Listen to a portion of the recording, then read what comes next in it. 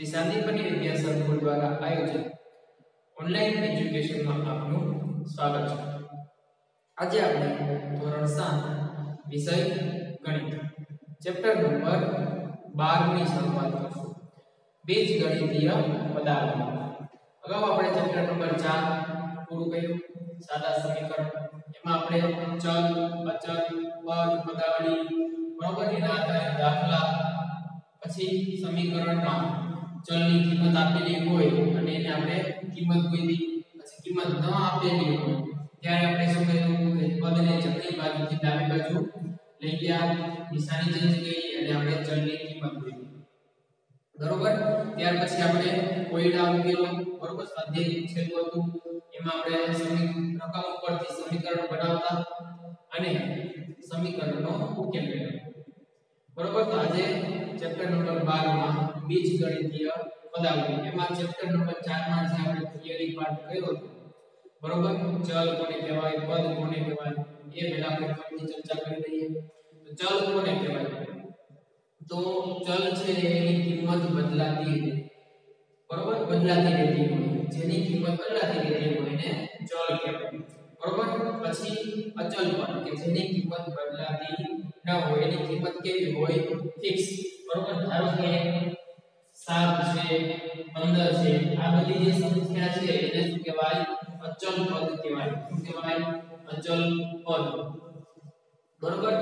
હવે આ ચેપ્ટર છે 12 બીજ ગણિતીય પદાવલિ તમારા માટે ખૂબ જ મહત્વનું ચેપ્ટર છે. આગળના ધોરણોમાં પણ આનો ઉપયોગ કરવાનો આવશે. બરોબર? એટલે શરૂઆતથી જ ધ્યાન આપજો. હવે આમાં જે શબ્દ છે, પદાવલી. પદાવલી છે, એ પદ અથવા તો પદોની બનેલી હોય. એટલે આપણે સૌપ્રથમ પદ લખીએ. તો પદ કેવી રીતે લખાશે? 5x છે. એને એક પદ કહેવાય. શું કહેવાય? એક પદ કહેવાય. તો આ જે 5x છે, એને પદાવલી પણ કહી શકાય. પદાવલિ પદ, એટલે એક પદ પણ પદ કે પદોની બનેલી હોય છે. હવે આપણે લખીએ. 5x y અથવા તો 5x 7 આવી રીતે લખીએ.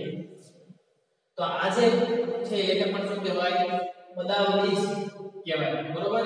હમણાં જે ખાલી 5x એ ખાલી એક પદ હતું. બરોબર? પણ એને કહેવાય કે પદાવલિ બરોબર? હવે આ બે પદ થઈ ગયા છે. એક 5x અને એક 7 અચલ પદ છે. બરોબર? આ બે જે ભેગા થઈને બનશે, એને પણ શું કહેવાય? પદાવલિ કહેવાય. હવે પદ એ તેના અવયવોનો ગુણાકાર છે. એનો મતલબ શું? ધારો કે આ એક પદ છે પેલું. 5x ઘરે આપણે કેવી રીતે લખી શકાય? 5 x બરોબર? તો આ જે 5 x છે. એ 5x ના શું કહેવાશે? અવયવ. અને એનો આપણે શું કર્યો છે? ગુણાકાર. એટલે પદ છે એ તેના અવયવોનો ગુણાકાર છે. અથવા તો બીજી રીતે કોઈ સંખ્યા, બીજો ચલ લઈએ આપણે. ધારો કે y નો બરોબર? આવી રીતે લઈએ. તો કેમ થશે? આનો અવયવ શું થશે? y y y બરોબર? y ને ત્રણ વાર આવી રીતે લખી શકાય. એટલે y એ 3 એના અવયવ કહેવાય અને એનો આ ગુણાકાર. પદ શું છે? y નો ઘન. બરોબર? તો આવા ક્યાં આ શું છે. હવે ચલ હોય કોઈ પણ ચલ z સાથે કોઈ ચલની સાથે ગુણાકારથી જોડાયેલ સંખ્યા. એટલે અહીંયા આપણે z ચલ લીધો છે, એની આગળ ધારો કે 6 છે 6z એને શું તો 6 છે એને શું કહેવાશે? સહગુણક શું કહેવાય? સહગુણક સહગુણક આપણે આગળ પણ ચર્ચા કરેલી છે. ચલની આગળ જે સંખ્યા હોય એને શું કહેવાશે? સહગુણક કહેવાય. બરોબર? હવે કાઈ એવું હોય. ધારો કે આવી રીતે x જ છે.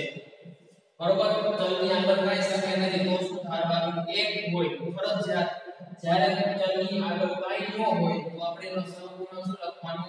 1 લખવાનો. હવે આ આપણે અગાઉ પણ ચર્ચા કરેલી છે. હવે જે આવે છે ઇમ્પોર્ટન્ટ છે. જે પદાવલીમાં એક જ પદ હોય, બરોબર? તે પદાવલીને એક પદી કહે છે. આ એક પદી પદાવલિ હોય એની વ્યાખ્યા છે બરોબર ઉદાહરણ એક એક માર્કમાં પણ પૂછાઈ શકે કે એક પદી બધા હોય એક પદી એને શું કે ઉદાહરણ દર્શાવો એક પદીનું ઉદાહરણ તો એક પદી એટલે શું કે જે પદાવલીમાં એક જ પદ હોય ધારો કે એક્ઝામ્પલ તરીકે 6x આ એક પદ છે બરોબર પછી ખાલી એક હોય ખાલી y હોય આ બધા જે છે એને શું કહેવાય? એક પદી કહેવાય. જેમાં ખાલી એક જ પદ રહેલું હોય. હવે આ એક પદી હવે આ બીજી પદ. જે પદાવલીમાં બે પદ રહેલા હોય. કેટલા પદ? બે પદ હોય. એને શું કહેવાય? દ્વિપદી કહેવાય. એટલે કે x પછી વત્તા y આમાં બે પદ છે. એક ખાલી x અને એક y પણ બે સાથે છે? બે છે એને શું કહેવાશે દ્વિપદી કહેવાય. શું કહેવાય? દ્વિપદી. અથવા તો આવી રીતે હોય, x નો y. આને પણ શું કહેવાશે દ્વિપદી કહેવાય. આ એક પદ છે, આ બીજું પદ છે. અથવા તો x ન લખવું હોય આપણે 2x y. બરોબર? આ એક પદ, આ બીજું પદ. બે પદ હોય તેને શું કહેવાશે? દ્વિપદી કહેવાય. બરોબર આના પણ ઉદાહરણ પૂછાઈ શકે એટલે ખાસ સરળ વ્યાખ્યા યાદ રાખવાની એક પદની પછી દ્વિપદી અને હવે આવે છે ત્રિપદી એટલે કે જે પદ હોય, જે પદાવલી હોય, એમાં ત્રણ પદ હોય. કેટલા? ત્રણ. એટલે કે x પછી આપણે y લઈએ, અને z લઈએ આ જો ત્રણ પદ થઈ ગયા x y અને z તો આને શું કહેવાશે? ત્રિપદી કહેવાય શું કહેવાય ત્રિપદી. પછી આ રીતે હોય 2x y 3z આને પણ શું કહેવાશે? ત્રિપદી કહેવાય. આ પેલું પદ, આ બીજું પદ અને આ ત્રીજું પદ. બરોબર? ત્રણ પદ હોય એટલે શું કહેવાય? ત્રિપદી કહેવાય. એક પદી, દ્વિપદી અને ત્રિપદી. બરોબર? હવે આવે છે બહુપદી. શું આવે છે? બહુપદી. જે પદાવલીમાં 3 થી વધારે પદ હોય. જે પદાવલીમાં ત્રણથી વધારે પદ હોય, એટલે 4 5 એને શું કહેવાય? બહુપદી કહેવાય. કોઈ પણ ઉદાહરણ લઈ શકાય. અહીંયા પાછળ ક્વેશ્ચન કે લખી નાખવાનું. આ x છે. x y z. હવે આપણે અચલ પદ લખી નાખીએ. 2 અથવા તો 3 તો 1 2 3 અને 4 થઈ ગયા. તો આને શું કહેવાશે? બહુપદી કહેવાય. બરોબર? ત્રણથી વધારે પદ હોય એને શું કહેવાય? બહુપદી કહેવાય. ફરીથી એક પદી કોને કહેવાય? જે પદાવલીમાં એક જ પદ હોય તેને શું કહેવાય? એકપદી કહેવાય. પછી જે પદાવલીમાં બે પદ હોય તેને દ્વિપદી કહેવાય. અને જેમાં ત્રણ પદ હોય તેને ત્રિપદી કહેવાય. હવે ત્યાર પછી આવે છે સજાતીય પદ અને વિજાતીય પદ. બરોબર? આ એક મહત્વનો ટોપિક છે જે પદોમાં ચલ સમાન હોય. ચલ આપણે કોઈ કહેવાય કોઈ પણ આલ્ફાબેટ એ થી લઈને z સુધી આપણે લઈ શકીએ. બે પદો હોય, એના ચલ સમાન હોય. ધારો કે આવી રીતે બે પદ છે. 2x અને 5y 5x આ બે પદો છે, એની સંખ્યા ગમે તે હોય ચલની આગળ.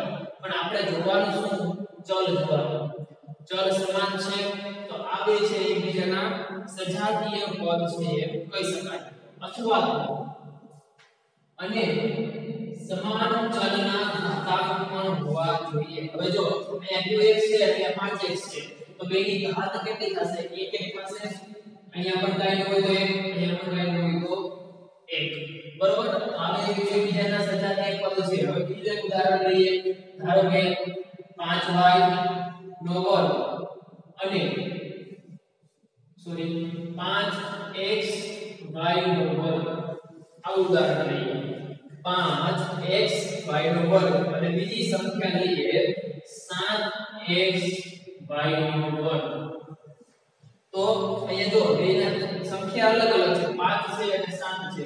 પણ ચલ સરખા છે x અને y x અને y બરોબર? ચલ સરખા છે. તો આપણે કહી શકીએ કે વિચાર સજાતીય પદ છે. સજાતીય પદ પણ એની ઘાત પણ જોવાની રહેશે. જો ઘાત પણ સમાન હોય ચલ સમાન હોય અને ઘાત પણ સમાન હોય, તો એને કહેવાશે? સજાતીય પદ કહેવાય. બરોબર, ખાલી ચલ સમાન હોય અને ઘાત અલગ અલગ હોય, તો એને સજાતીય પદ કહેવાય નહીં. બરોબર? અહીંયા ચલ પણ સમાન હોવા જોઈએ અને ઘાત પણ સમાન હોવી જોઈએ. તો જ એને સજાતીય પદ કહેવાય. બરોબર? હવે સજાતીય પદના ચલ વાળું લઈ હવે અચલ વાળું હોય ધારો કે 25 છે અને -5 છે. આ બે અચલ પદ છે. તો એને પણ શું કહેવાશે? એમાં નિશાની થવાની નહીં. પ્લસ છે કે માઇનસ આને પણ શું કહેવાશે? સજાતીય પદ જ કહેવાય. બરોબર? હવે વિજાતીય પદ. જે પદોમાં ચલ અસમાન હોય. બરોબર એટલે આપણે આ ઉદાહરણ લીધું એમાં 2x હોય અથવા તો 5y હોય. તો જો આ બેના ચલ અલગ અલગ છે. બરોબર? ચલ અલગ અલગ છે, તો આ બેને વિજાતીય પદ કહેવાય. ચલ સમાન હોવા જોઈએ, તો જ શું થશે? સજાતીય પદ. આને શું કહેવાય? વિજાતીય પદ. જો આ એક કન્ડિશન થઈ, ચલ અસમાન હોય. અથવા સમાન ચલના ઘાતાંક સરખા ન હોય. સમાન ચલના ઘાતાંક સરખા ન હોય આમાં બે કન્ડિશન છે વિજાતીય પદની બે કન્ડિશન કાં તો ચલ સરખા ન હોય અને કાં તો ચલ સરખા હોય આવી રીતે 7x અને 9x આવી રીતે ચલ સમાન હોય, પણ ઘાત સરખી ન હોય. અહીંયા ધારો કે 2 છે. અને અહીંયા 3 છે તો આ બેને સજાતીય પદ ન કહેવાય શું કહેવાય? વિજાતીય પદ કહેવાય. શું કહેવાય? વિજાતીય પદ. સમાન ચલના ઘાતાંક સરખા ન હોય. આને શું કહેવાશે? વિજાતીય પદ કહેવાય. જે ઉદાહરણ લઈએ વિજાતીય પદનું ધારો કે 5 y નો વર્ગ અને 6 y ની 3 ઘાત. બરોબર? આ બેના ચલ સમાન છે. પણ બેની ઘાત અલગ અલગ છે. એને શું કહેવાશે? વિજાતીય પદ કહેવાય. બરોબર? હવે સજાતીય પદ છે, એના સરવાળો કે બાદબાકી થઈ શકે. બરોબર? આપણે આગળ આવશે. જે પદ છે બરોબર? આવું પણ આવી શકે, આવું પણ આવી શકે. જે પદ હોય, એના આપણે સરવાળો બાદબાકી કરવાના પણ આવશે. તો કયા પદના સરવાળો બાદબાકી થશે? તો સજાતીય પદ છે, એના જ સરવાળો બાદબાકી થાય. વિજાતીય પદનો સરવાળો બાદબાકી થશે નહીં. બરોબર? આ અત્યારે યાદ રાખવાનું આગળ આપણે આવશે ત્યારે ફરીથી જોશું સજાતીય પદનો સરવાળો બાદબાકી થઈ શકે. વિજાતીય પદનો સરવાળો બાદબાકી થઈ શકે નહીં. ઉદાહરણ તરીકે લઈ લઈએ. આ સજાતીય પદ છે. બરોબર? તેમાં આપણે એનો સરવાળો કરીએ તો 5x y નો વર્ગ. સરવાળો જ કરવાનું, પ્લસની y ઉપર. હવે તો આપણે ચલ સંખ્યા છે, ઘાત પણ સરખી છે. ચલ સંખ્યા છે ને ઘાત પણ સરખી છે. તો એના જે સહગુણક હોય અહીંયા 5 છે, અહીંયા 7 છે. એનો શું કરવાનો? સરવાળો કરવાનો. વચ્ચે સરવાળાનો વિષય છે. બેના સહગુણકનો સરવાળો કરવાનો. 5 અને 7 કેટલા થશે? 12 થાય 7 ને 5 12 હવે ચલમાં કોઈ પણ પ્રકારનો ફેરફાર કરવાનો નહીં. ચલ જે હોય એ જ લખી નાખવાનો. નો બરોબર? ખાલી સહગુણકનો સરવાળો કરવાનો.